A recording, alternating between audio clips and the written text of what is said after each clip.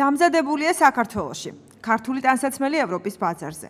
TV25-მა აღმოსავლეთ დასავლეთის მართვის ინსტიტუტის პროექტის ფარგლებში და ამერიკის შეერთებული შტატების საერთაშორისო განვითარების სააგენტოს დაფინანსებით გადაცემა მოამზადა, სადაც აჭარის სავაჭრო სამრეწველო პალატის თავმჯდომარის მოადგილე მისაუბრა, რა წარმატება აქვს სამკერვალო სფეროს აჭარაში და რა პერსპექტივები აქვს 500 მილიონიანი ბაზრის ასათვისებლად.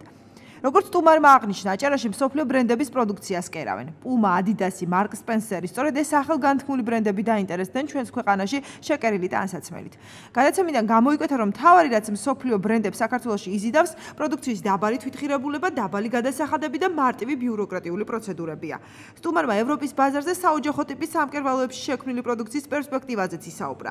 როგორც ასლან ლორთქიფანიძემ აღნიშნა, ატელიებს ევროპის ბაზარზე მომავალი იმ მხოლოდ იმ შემთხვევაში ექნება, თუ კი მცირე ზომის ნაწარმოები კოორდინირებულად იმუშავებენ და კოოპერატივებს შექმნიან, რადგან 150-მდე ატელიე, რომელიც აჭარაში მუშაობს, ევროპის ბაზრისთვის საჭირო რაოდენობის პროდუქციას ვერ ქმნის.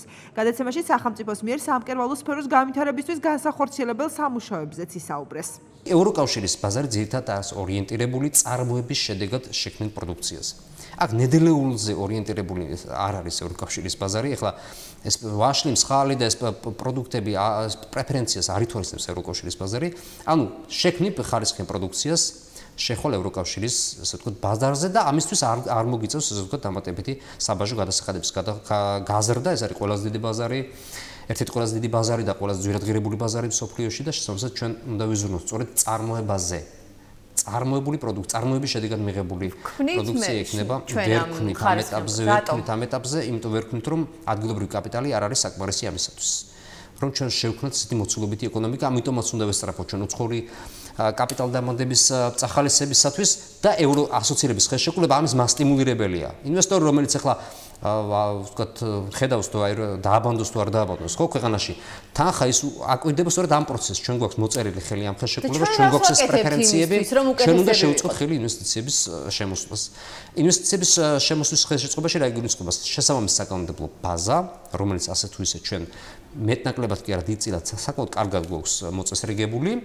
მეორე ეს არის უშუალო კომუნიკაცია ბუნებრივია ბიზნესმენებთან და კარგი კომუნიკაცია ბიზნესმენებთან. ამაში უნდა იყოს ჩართული როგორც ვთქვათ როგორც ჩვენ ვართ ჩართულები ასევე კერძო კომპანიები და სახელმწიფოც. განაცემაში საზოგადოებრივი პოზიცია ასევე განიხილეს ზოგადად რისი წარმოებაა პერსპექტიული აჭარაში, რა უშლის ხელს ქართულ მეწარმეებს პროდუქტის ევროპული სტანდარტებით შექმნაში. რამდენად მნიშვნელოვანია თავისუფალი სავაჭრო სივრცის ათვისება, როგორ აისახება ეს მოსახლეობის კეთილდღეობაზე, რა რეგულაციები არსებობს, არის თუ არა შესაძლებელი ქართულმა წარმოებამ კონკურენცია გაუწიოს უცხოურს. კითხვებზე აჭარის სოფლის მეურნეობის მინისტრმა ლაშა კომახიძემ გასცა პასუხი. მანდარინი, რძის პროდუქტები, მწვანილი, ჩაი, თხილი, ეს იმ პროდუქტების ჩამო მონათვალია, რომელიც აჭარიდან ევროპის ბაზარზე გადის, თუმცა პრობლემაა პროდუქტის ხარისხი. სახელმწიფოს მხრიდან ხელშეწყობაზე საუბრისას მინისტრმა რამდენიმე მაგალითი მოიყვანა და კოოპერატივების გაძლიერებას გაუსვა ხაზი. არის აქტიური ფერმერები, არის პასიურები, თუ გითხრენ პროცენტულად მეკითხებით, გაცილებით დიდია პასიური ნაწილი ვიდრე აქტიური ნაწილი. სამწუხაროდ არის ესეთი განცდა ფერმერებში, რომ მიწამათ ვეღარ ყვებავს, არიან განწყობილი პესიმისტურად, ჩვენ ძალიან ბევრს ვაკეთებთ, ძალიან ბევრს შრომობთ იმისათვის, რომ შევცვალოთ მათში ეს განწყობა და რაც თავარი გადავჭრათ ამ მოკლეს ვადაში ყველაზე დიდი პრობლემა პროდუქციის რეალიზაციის და პროდუქციის რეალიზაციიდან იმდენი შემოსავლის მიღების საშუალება მივცეთ ფერმერს რომ მან განვითარებაზეც კი იფიქროს. სწორედ აი რეალიზაციის ალტერნატიული სისტემის აწყობა რომელიც მე ვახსენე 3 მილიონ 700 ლარს ვხარჯავთ წელს აი ამ აგრომომსახურების და აგროლოგისტიკური ცენტრების მოწყობაზე მთელი აჭარის მასშტაბით ეს გრანდიოზული პროექტია რომლის ინფრასტრუქტურულ სამუშაოებსაც ჩვენ ამ წლის ბოლოს დავასრულებთ და შეიძლება წელსვე გარკვეული რაოდენობის პროდუქტი ყო ამ ქსელით გაუშვათ თუ არა და შემდეგ წელს ეს ყო ნამდვილად იქნება. ბატონო მინისტრო, ვიცით რომ საქართველოს დიდი რაოდენობის მოდის მწვანილი. ევროპულ ბაზარზე არის მოთხოვნა. რამდენად შეიძლება რომ ჩვენი მწვანილი იყოს კონკურენტუნარიანი ევროპულ ბაზარზე და რამდენად შეიძლება მისი ექსპორტი მოხდეს საქართველოსთან. გადაცემა იყო ინტერაქტიული, თოქ-შოუს მსვლელობისას პირდაპირ ეთერში დასვეს კითხვები მაყურებლებმა.